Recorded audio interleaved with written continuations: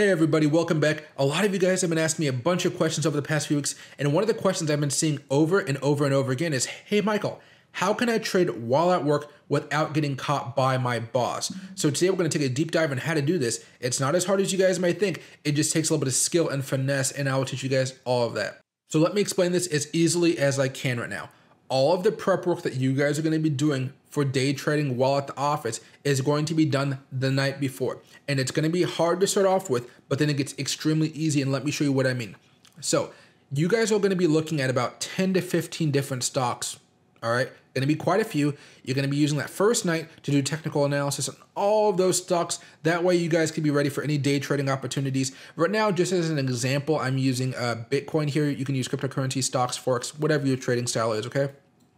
And then from here, you want to have a price target of when you guys want to be buying in at that support level. And then using Fibonacci extension tools, you want to be looking at some important levels of resistance that you guys might want to be selling at, right? A little bit of resistance here, some resistance here, some resistance here, a little, should be a little bit of resistance here, but not too much, okay? And then this is what's going to make it so much easier. On the first day, it's going to be annoying because you have to draw all these lines up on like 15 different charts. I know it's going to suck.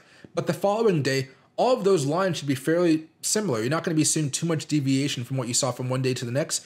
That way, you're only going to be adjusting about maybe one stock, maybe two stocks of technical analysis at a time per night to kind of reevaluate what, what everything is doing. All right. So now that you have that, you know, under your wings, you guys are going to have that support limit here. You guys are going to do one of two things here.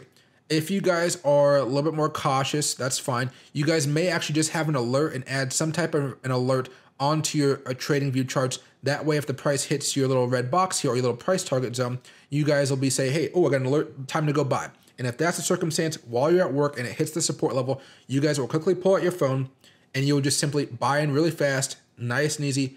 Don't really worry about it too much. Your boss isn't going to care if you're on your phone for like less than 30 seconds. It's going to be less than 30 seconds for the trade. Okay.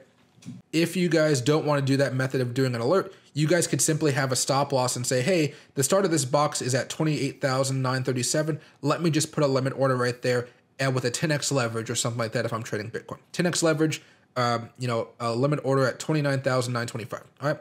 So let's play this out here. And we're at the office now. Okay, it hit. So you guys have either pulled out your phone, right? You guys have either pulled out your phone, made the trade, uh, or with an alert, or you guys already had it kind of situated there, and both are fine.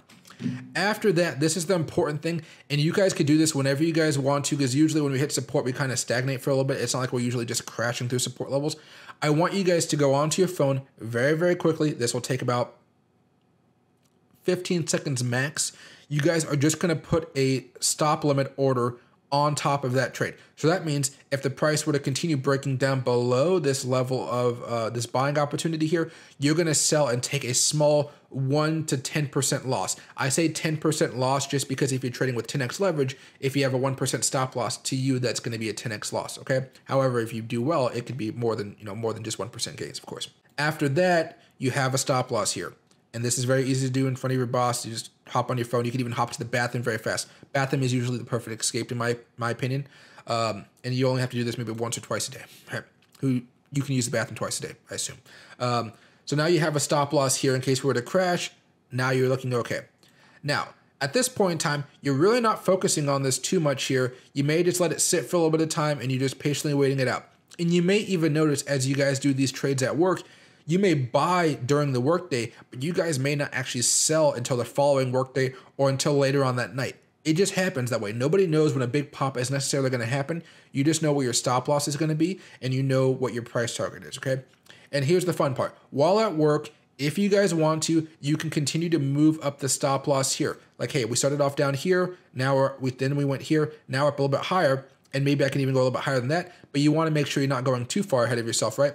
But what you've done now while at work is you've you've made sure that no matter what happens, the market could crash and you are still walking away with a profit. You are still walking away with a profit, which is the most important thing you guys need to be focused on if you guys are trading while at work because your mind is going to be focused more on work, of course. But the fact that you guys made some money during a trade, it always boosts up your your day, right? Now, as time goes on, you can keep moving this up more and more and more, so to speak and then you're just kind of waiting, you're waiting, and then boom, you hit your price target. But the time between this and this point and this point was about a day and 18 hours. So you may be actually buying at work and selling at work, but um, there's two ways to do this. You guys will have that uh, limit sell order there. So if the price reaches your price target, you guys will automatically have a sell and you guys will take your profit. Or just like before, you guys could simply add an alert, right? Onto Bitcoin or onto the, your chart on TradingView, and it, will give you a little bit of a pop up on your phone or an alert on your phone, whatever it may be, to tell you guys, hey, go sell your position. You've reached your price target. All right. It's as simple as that. You guys just have to have all of that technical analysis done the previous day, and each day it'll get easier and easier and easier. So if you guys did do that 10% uh, you know, buying opportunity here and you guys bought the zone, well, guess what? You would have been down about 6% temporarily because this is a leverage play. But then if you would have just trusted the technical analysis and went back to work, uh, about a day later, you'd be up about 4.8%, which is about 48% increase for just holding for a day in uh, 18 hours. Okay.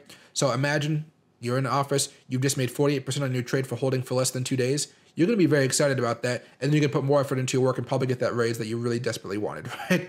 Have a good day, everybody.